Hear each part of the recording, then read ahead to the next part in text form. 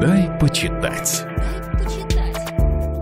Здравствуйте, я Ксения Станиславовна Лисарева, профессор Вятского государственного университета. Замечательная английская писательница и литературный критик Вирджиния Вулф, отчеканившая «Моя профессия – литература, а в этой профессии трудностей для женщин меньше, чем во всех других». В 1929 году опубликовала эссе «Своя комната», где изложила свою позицию у каждой женщины, если она собирается писать, должны быть средства и своя комната. И хотя она умерла в 1941 году, в 70-е годы 20 века Вирджиния Вулф стала одной из центральных фигур феминизма. Ее произведения переведены на более чем 50 языков мира. За несколько десятилетий до того, как эссе было написано в 1914 году, англичанки приобрели избирательное право. Может, поэтому экономическая независимость стала большой проблемой тогдашних женщин. Ведь в Англии женщина не могла самостоятельно распоряжаться деньгами. Но дело не только в этом. Столетия философы, писатели, государственные деятели пытались указать женщине на ее место. А то ведь и верно,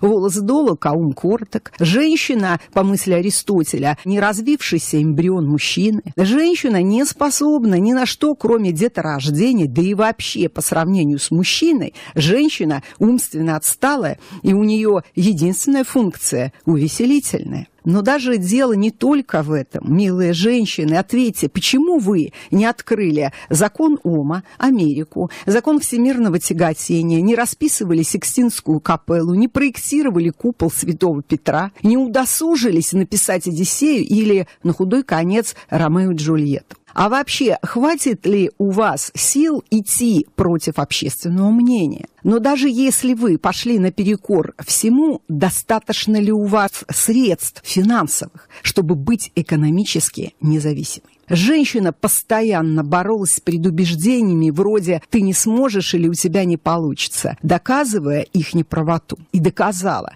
Но все равно женщине посвящены тысячи стихов, а в истории не сказано ни слова. И как не согласиться с простым и истинным утверждением Вулф у каждой женщины, и если она собирается писать, должны быть средства и своя комната. Вулф пишет чудесно. Прочтение книги «Своя комната» займет максимум полтора часа. Но это наслаждение. Джейн Остин, Шарлотта Бранте пишут свои романы в шумных гостиных отцов. Но пришла пора, и если женщина получает 500 фунтов в год и имеет отдельную комнату, то она обязательно напишет потрясающую книгу. Вулф бесстрашно и принципиально в своей комнате и как никогда актуально 12+.